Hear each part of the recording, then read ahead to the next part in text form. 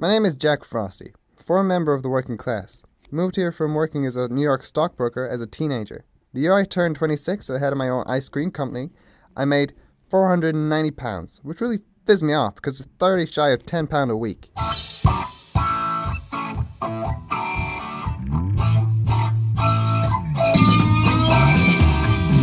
I also dress like a degenerate. I drink slushies like a kid. I Eat ice cream like five or six times a day. Oh yeah, I love sweets. On a daily basis, I consume enough sweets to give a sugar rush to the whole of Scotland, England, Ireland and Wales for a month. I take humbugs for my blood sugar, Brain Licker shots to keep me focused, chocolate to mellow me out, sherbet to wake me back up again, and Fizz Whiz, well, because it's awesome. But of all things in Frosty's white fridge freezer, this one tops them all. See, enough of this can make you rule the streets. You don't have any competition. And I'm not talking about this.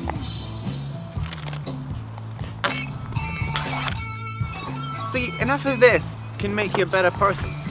You can buy more stock, you can buy bacon rolls for the staff, you can buy better crocs, and after a little while you can start letting people off with a few pence.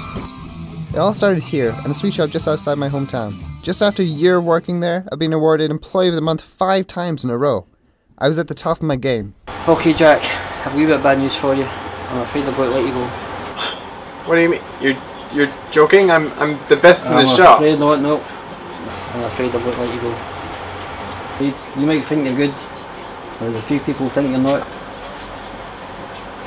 So many sales, you know. You can't, you can't just kick me out. But you might think you're good, but I don't. I'm afraid. All right. Okay. Okay, sorry, I'm going to let you go. And bang! Just like that, my life changed. Learned if I wanted to be successful in life, I had to do it by myself. That's when I saw her. Her paint, her wheels. They both gleamed with prosperity. I got the bike from a guy called Raymond, who gave me a great deal. Then after that, it was just me, her, and the open road.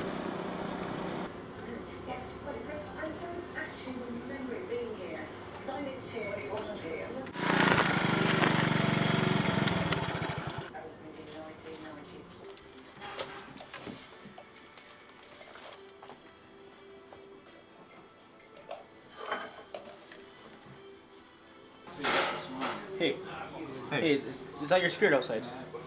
Yeah. Yeah. It is. Yeah. Yeah, um, Honda. It's, it's a nice scooter. It's nice. Yeah, it's nice. I know, yeah. Um, I'm Jonah, by the way, Jonah Hill. Jack Frosty. Nice, nice to meet you. Sorry, if you, if you don't mind me asking, um, what do you what do you do for a living? You know, we got the scooter, the, the Crocs, the nice hair. I'm just just trying to piece it all together. You know. Uh, I'm an ice cream man. I'm a stockbroker on the side, but that doesn't really matter, you know. Yeah, stockbroker, stockbroker. But the ice cream, the ice cream business, you're in it. Yeah. Tell me, again, if you don't mind me asking, um, how much did you make from that? Well, 70 pounds. Well, 72 pounds last month to be exact. 70, 72 pounds. 72 pounds. Yeah. I'll tell you what, Jack. Um, if you show me a paycheck right now for seventy-two pounds, I'll, I'll, I'll quit my job and I'll come work with you.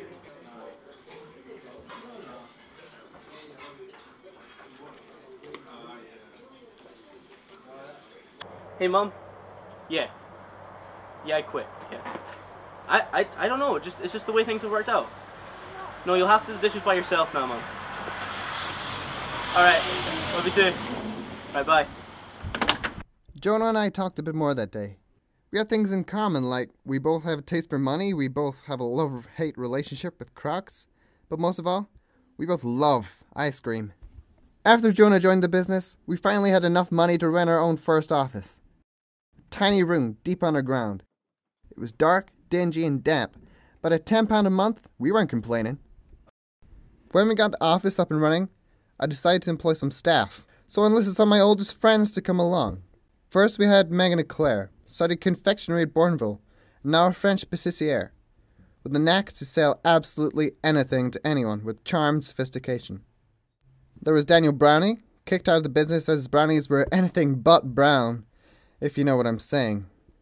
Then there was Rosemary McFlurry, ice cream fanatic, though I didn't agree with her love for plain vanilla. And finally, Caitlin Homebaking. A terrible name agreed, but she had some seriously fizzed up parents. All right, guys. If you're gonna work for me, you gotta know how to sell. So, Caitlin, some of this fudge. Let me finish my brownie first. Alright. Well, damn. some of this fudge. Alright, you get hungry, right? Well, yeah, get hungry. Boom! Supply and demand, my See, friend. that's how you do it. That's my man right there. Yeah. Yeah.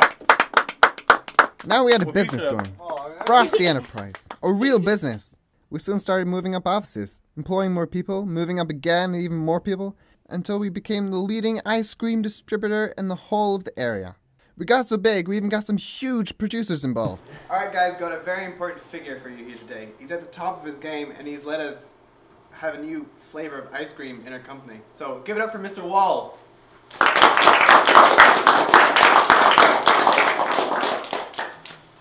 Here to tell you about a new kind of vanilla. Vanilla's a plain flavour. I- It's got got real vanilla pods in it. Oh. Alright, guys, alright, give it up for Mr. Walls!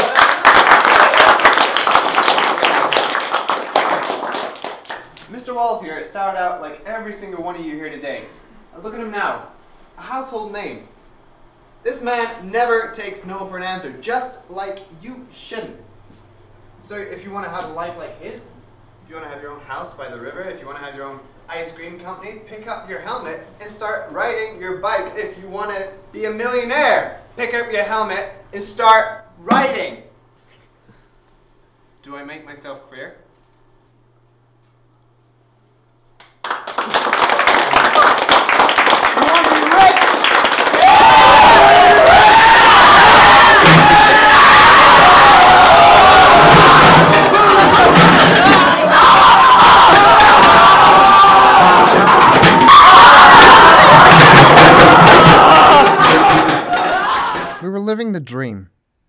Costs. Sweets are expensive these days.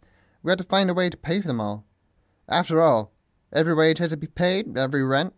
We need to find a way to keep turning profits.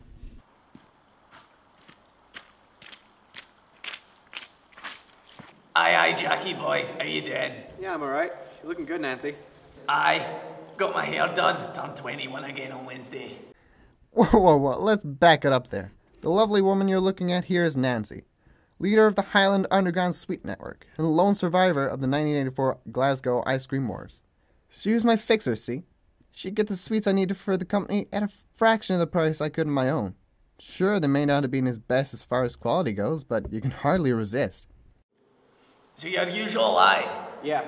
Aye, right then. Have the rest here by the bottle. Right. Thanks, Nancy. Aye, good man. Look, I know you're gonna have a few questions about what's going on here. But that doesn't matter. The real question is, was any of this legal? Absolutely not. Hey, what's the case? What's her name? Nancy? Working with Frosty. Hmm. I think we might get in this time. Boys, fire the car. We're gonna get some sweets.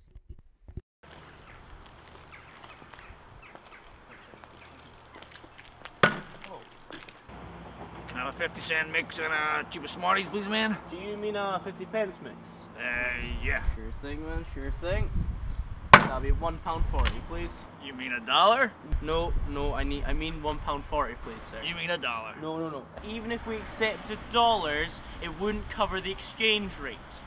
We'll call it a dollar. No, no, no. One pound forty. One pound. Well, John, good use of the Jedi mind tricks. Thanks, Steve.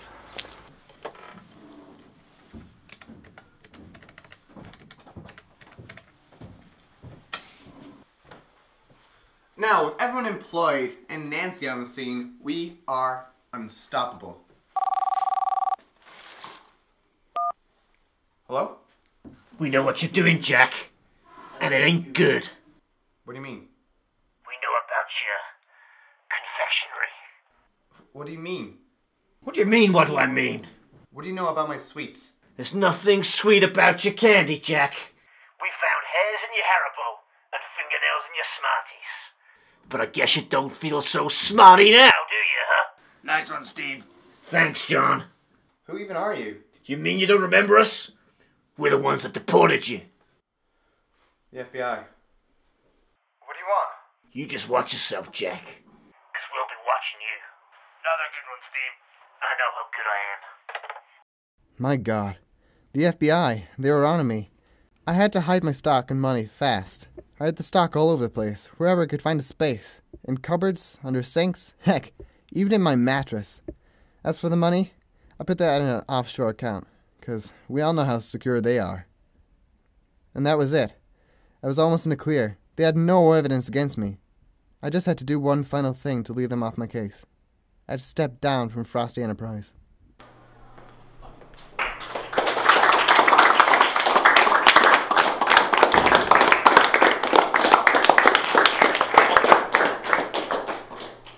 Know, when I first started this company, I knew the day would come where I had to hand over to Jonah.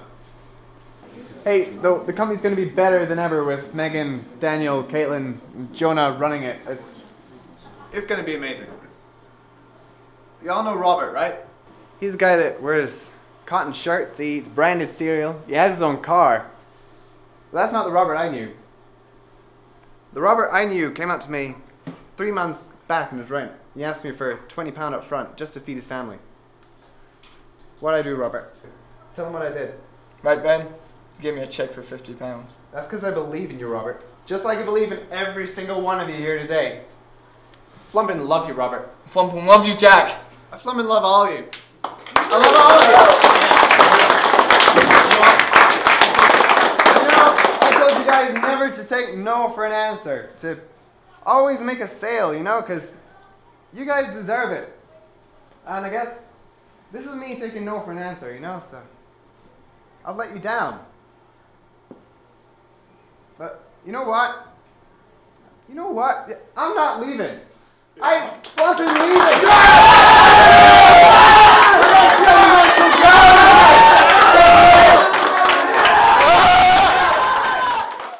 And so Frosty Enterprise would remain under Frosty name. It was time to celebrate.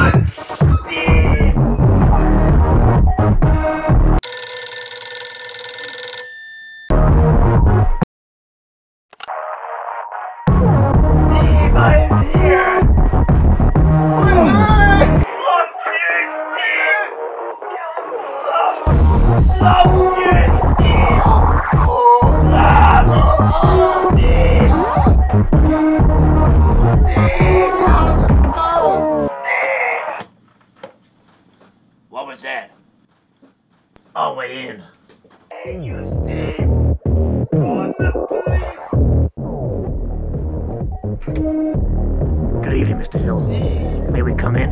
come in? Hello, Mr. Frosty. We thought we might find you here. You're coming with us. Flump. Turns out the FBI weren't as off my case as I thought. After I left the office that night, they had it searched. They found everything the Smarties, the hearts, the saucers, and even the walls. Jonah's phone call only pushed them over the edge. Bam! Had me locked up for three years. A sentence drastically reduced by ratting out every single person in the operation. Nancy got taken out first, Get your hands off me, you pigs! closely followed by Megan Eclair, Daniel Brownie, Rosemary McFlurry, Caitlin Homebaking, last of all, my right hand man, my accomplice in it all, Jonah Hill. Sentenced to one year in federal prison because of what I did, what I pushed them into. I told them never to take no for an answer. Maybe they should have taken it from me. scary world out there, and it doesn't get any scarier than this.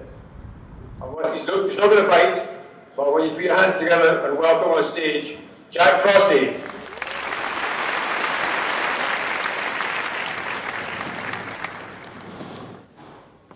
Some of this fudge. It's chocolatey and it's nice. Some of this fudge. Some of this fudge. Good size, thing is stuck in your teeth. It's nice. Some of this fudge. Really nice. Fuck.